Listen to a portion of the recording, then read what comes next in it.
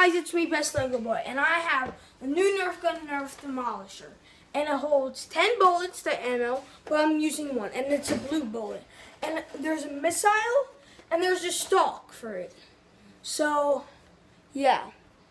So let's, and it's an automatic gun, and it holds three double A, ba- uh, four double A ba- batteries.